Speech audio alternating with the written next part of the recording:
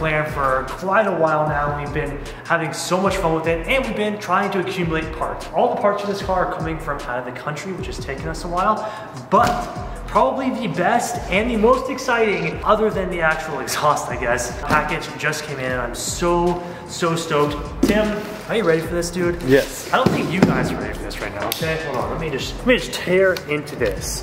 First of all, First of all, before we get into this video, if you guys haven't already, hit that subscribe button and the like button. If you guys are enjoying all the content on the channel, we have so much going on and it's so exciting. And I wanna give a big thank you to Chris over at Unobtainium Welding for, for helping us out here. And I actually got in touch with Chris a while ago about wanting an exhaust for McLaren because we've been planning on, on, getting a McLaren for a while and Chris is the one who helped us with the entire process choosing what to get and what to do and uh, this is all because of him so is this an apron? We're back, baby.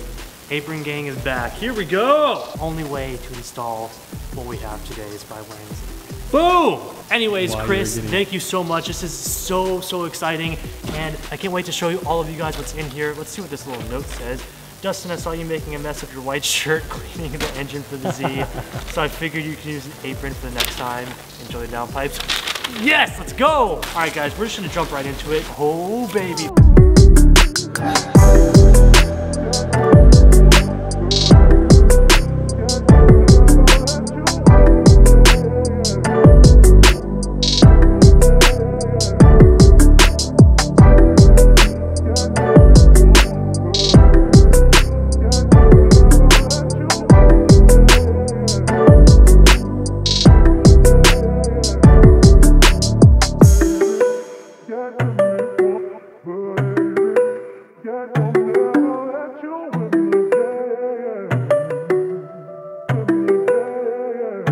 All right, guys, so we are officially doing the unobtainium stainless downpipes on the 570. Now, I know what you're thinking. Why don't we have the exhaust? We do have the exhaust, but it just hasn't come in yet, and we actually have a very special kind of exhaust. So just today, we're gonna do the downpipe so we can go and get this thing tuned for when the exhaust comes, and then we can absolutely rip on it. But these are the very, very beautiful unobtainium welding stainless steel downpipes. I am beyond stoked to install these. So something that I think that is lacking on the car is definitely the exhaust. Upon like startup and like cold starts, the car sounds amazing, but as far as driver experience goes inside the car, you can't hear it at all. Especially if you guys watch the track day video, you have, it sounds like air on the inside of the car. And these downpipes with the exhaust is about to change everything and I am stoked. I'm gonna go ahead and leave Unobtainium Welding's website down in the description box below so you guys can check it out. They have tons of amazing products for all types of different cars on their site. And honestly, this is probably the best quality exhaust and downpipes you guys are gonna find. It speaks for itself really. So I'm gonna leave their link down in the description box below so you guys can check it out. But we're gonna go ahead and we're gonna, I guess, try and figure this out, right, Tim? I mean, Yeah, we, I have, this is scary. This is a McLaren. I've worked on JDM cars lots of, lots of times, but as far as McLaren goes, I have no idea what the hell we're gonna get into here. So we're just gonna figure out as it goes. And I watched a couple of videos. It looks fairly simple enough, I guess. So I'm hoping that's not too terrible, but we're just gonna jump right into it. And I figured before we actually install the downpipes, we're gonna go ahead and give you guys a little exhaust clip so you can hear how it sounds like with stock downpipes and stock exhaust.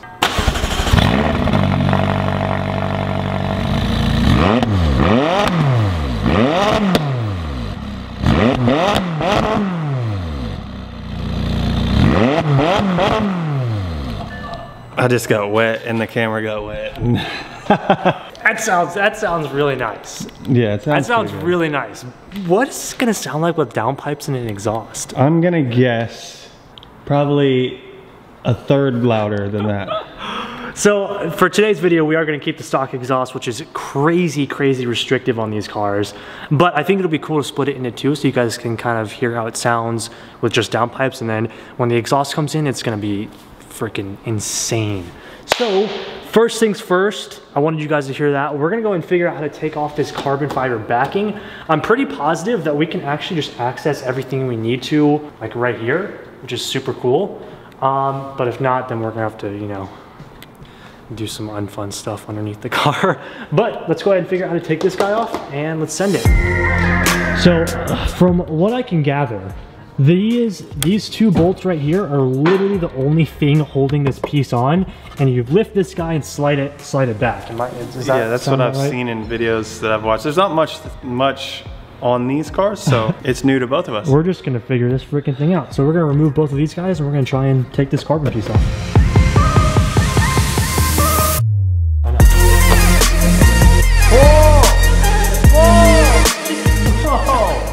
Unfortunately, we do have to actually put this thing on the lip, but it shouldn't be that bad. So you guys can see the exhaust is gonna be extremely, extremely easy for us to take off. We just literally have to remove the rear bumper and this thing will slide out. But the downpipes, not so much. You guys can see it goes all the way underneath the water-cooled intercooler right there, so you guys can see that. And the cool thing about that is, I'm pretty positive if we lift this thing up, take the wheel off and remove the fender liner, we can access everything we need to for the downpipe right through here. So that's what we're gonna do.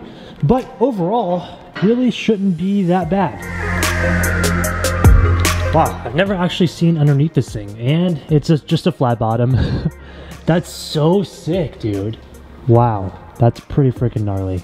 This is cool. It's a spaceship. All right, so we're gonna go ahead and rip these guys off and just tear into the fender liner.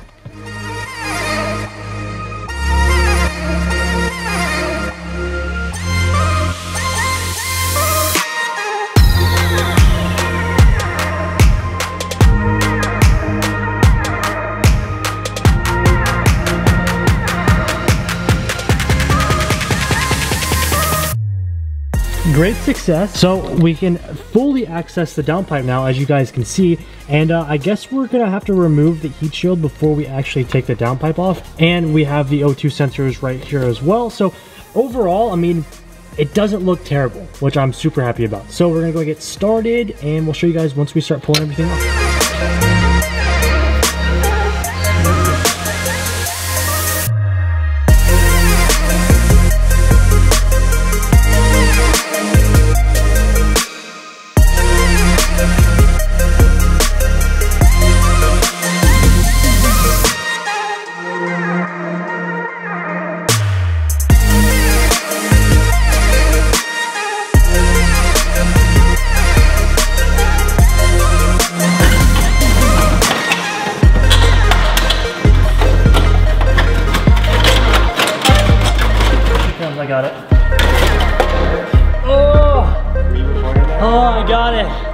I freaking got it. Woo!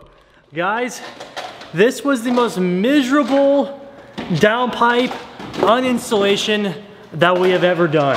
Holy crap. Hey, I got the heat shields out now.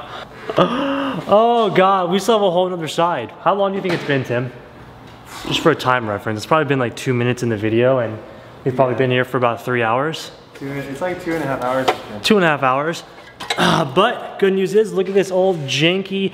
I'm very surprised at how rusty all of these bolts and stuff were for it being a McLaren, but we're replacing it anyway. So first stock downpipe is out. So we're gonna go ahead and compare this guy to the Unobtainium.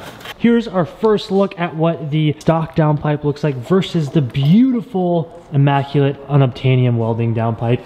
This is gonna make such a huge difference. So we are going to be using the stock heat shield for the unobtainium downpipe, and as you can see, they actually left us flanges to be able to use the hot the, stock heat shield, which is super super nice. So as much of a pain in the ass as it was to get this thing out, I'm hoping that's a little bit easier with this because it is a little bit smaller and easier to maneuver and stuff because we don't have the cat. So let's go ahead and throw her in.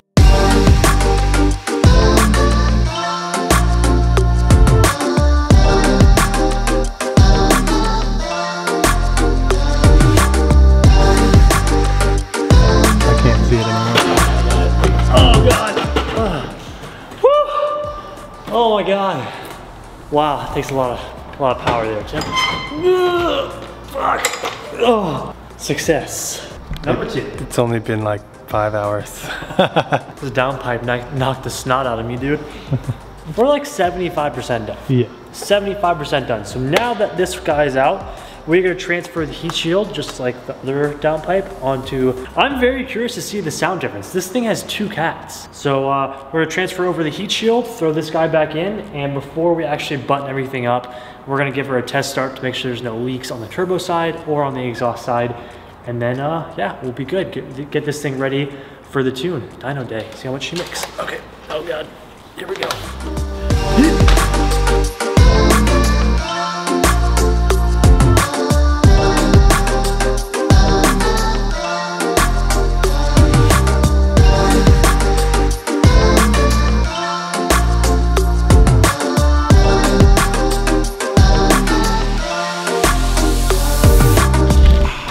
Guys, like seven hours later, but nonetheless, we have gotten both of the downpipes in. You guys can see right here. They're all tightened up top. Tim is underneath right now, and he is finishing up the clamp from the turbo to the downpipe. We just have to install the O2 sensors, and this thing is ready for the first startup. I'm so pumped. This is gonna sound so good. And this isn't even the end. We still have a full exhaust to do places we need to test by the turbo and if you guys can see right up where the exhaust meets the downpipe tim is it time seven hours later tim we did it we Hey, hey, it's not. It wasn't horrible. We just didn't know what we were doing. yeah if we knew it was pre- it was pretty horrible It, it was. very horrible okay. It, it's been filming. oh god oh god oh.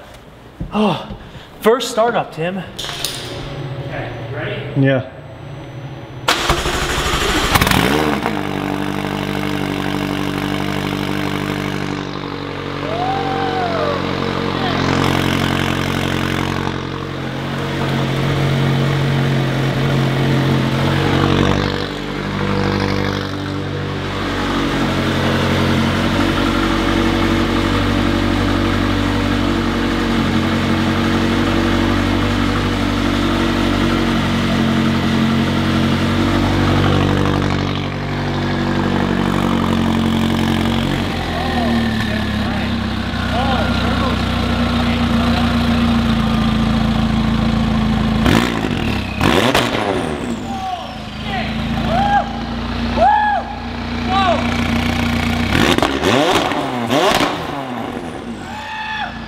What?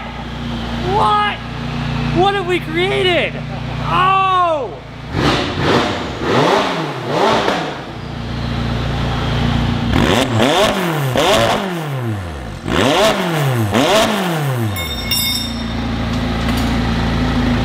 I've nutted to my death. This is. Oh, God! God! Oh my god!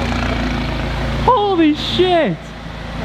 Holy shit, dude! Oh, this is amazing!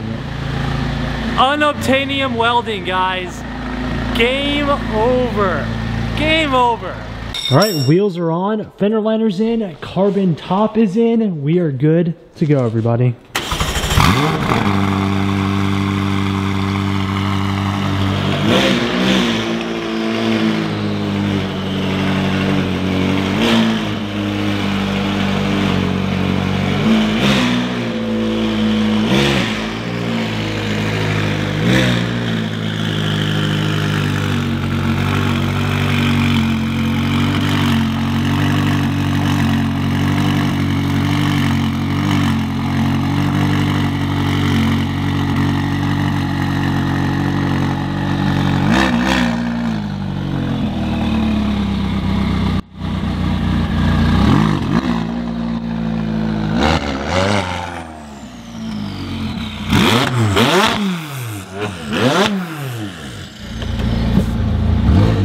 Oh my god, this thing is so loud. Loud, but it's so good. So obviously I can't really get on it until we get a tune, but oh my god, this thing is freaking sick, guys. So I'm gonna go home. I'm gonna see what Tiana thinks about the downpipes. It's gonna be pretty insane. She thought it was loud before. Oh my god. All right guys, it is currently in the next day and it is so cold outside, but we are about to drop off the McLaren to the tuner because they have to mess with like the ECU and get some data logs and stuff, but Tiana has to drop me off and I want her reaction to the first start of the 570 because this thing's freaking insane. Okay, are you ready? Is it louder? I don't know, you have to wait and see. Ugh. What are you expecting? I don't know. I just liked how it sounded before. Oh, just wait. You know- Here you go. Have fun. All right. Oh my. No, I'm gonna pop an eardrum. Oh my gosh.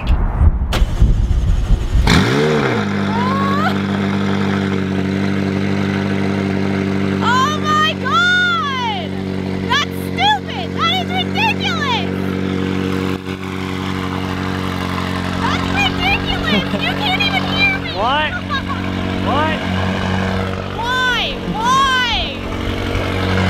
go to the tuner.